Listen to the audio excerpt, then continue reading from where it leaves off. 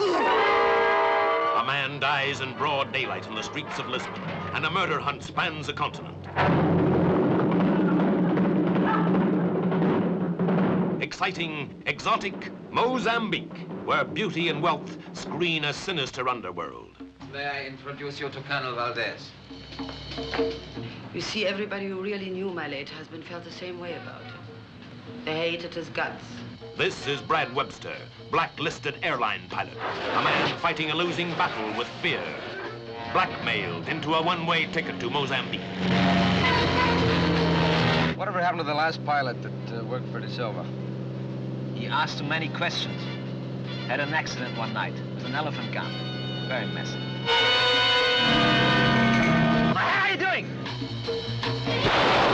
Ilona Valdez, the widow who inherits a fortune from crime and the dangers that go with it. I'm going on alone. Taking the briefcase with me. As security. No, David. We're going together.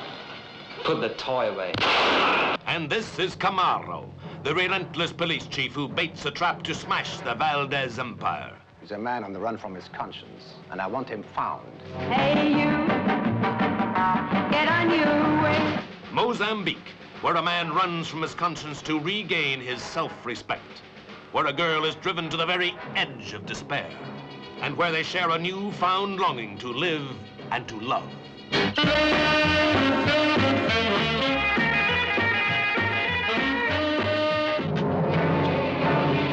Leave it alone.